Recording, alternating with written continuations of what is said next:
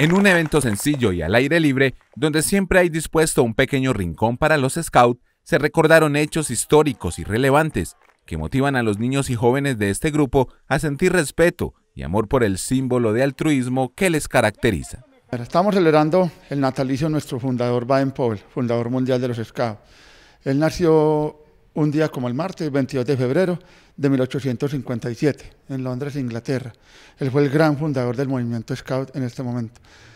¿De qué nos sirve? De, mucho, porque estamos integrando a los niños y los jóvenes, los estamos integrando, ellos estaban, eh, sabían qué estábamos conmemorando, su forma de, de, celebrarlo, su forma de celebrar el natalicio, entonces sí, una celebración simultánea de todos los scouts del mundo.